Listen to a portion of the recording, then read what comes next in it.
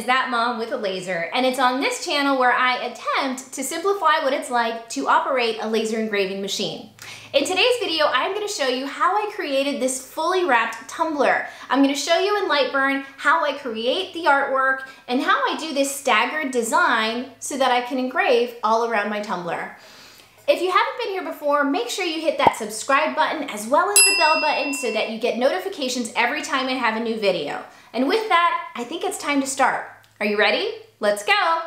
All right, guys, so here I have my logo. I'm gonna go ahead and group it together and I'm going to set it to my settings.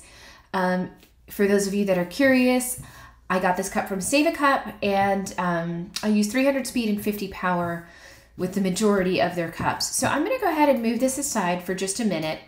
And the first thing I wanna do is I wanna create a rectangle to the dimensions of my cup. So I'm gonna grab this rectangle here, draw one out. I'm gonna switch it so that it's just an outline. It's easier for me to see.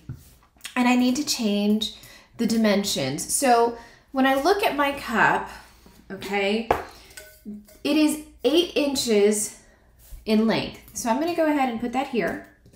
And then I also need to input the circumference. So to do that, I just, I have this little like flex bendy ruler that I use all the time.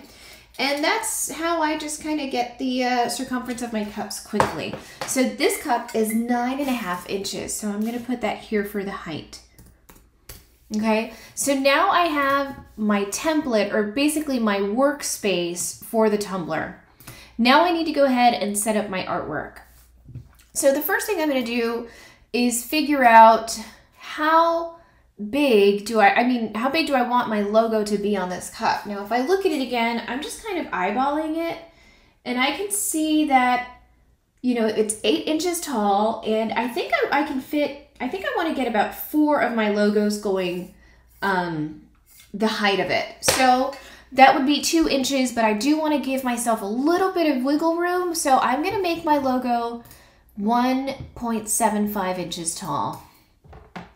And let me go ahead and change that here. Great. And now that I have that, I'm going to rotate it 90 degrees because when we engrave it, we're going to have to um, turn the artwork anyway. So I'm going to go ahead and do that. Great. And now I'm going to bring my logo over here. And I already know that I want four going across. And if I eyeball it again, I'm gonna guess, I'm just kind of duplicating here to see how much space I have to work with.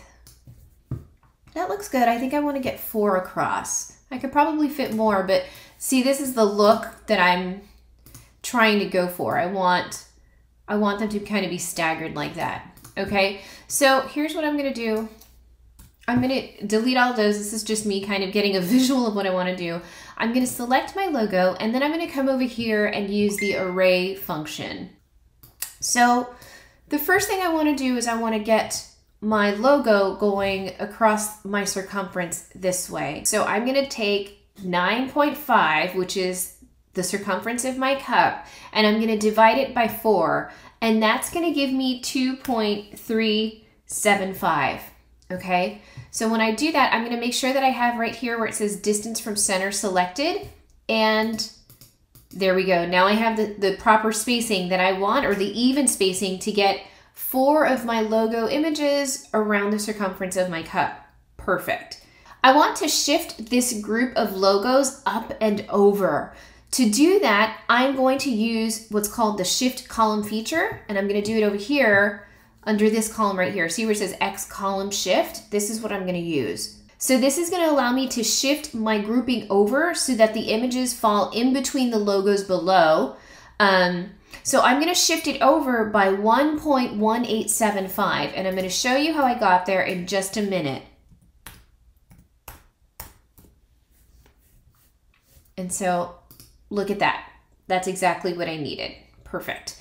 Okay. So what did I do to get there?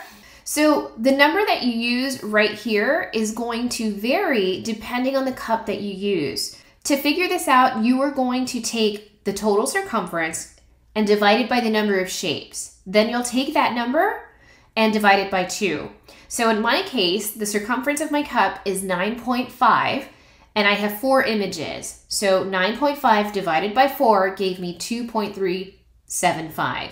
Then I'm going to take 2.375 and divide it by 2, and that's how I arrived at 1.18750, and it did it all for me.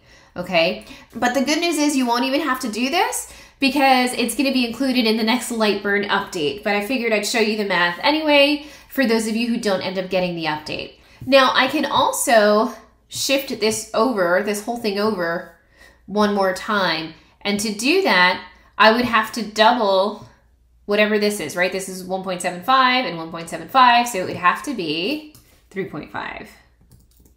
There we go.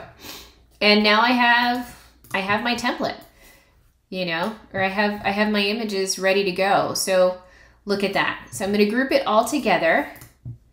And now I'm going to get rid of this rectangle because obviously I don't want this in my image.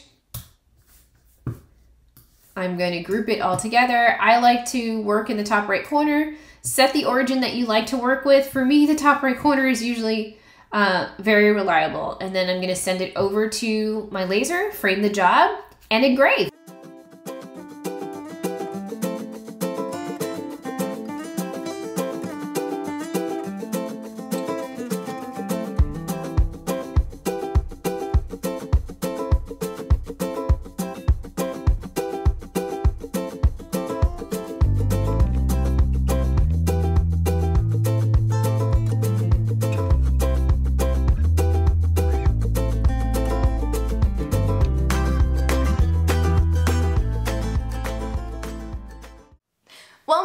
There you have it.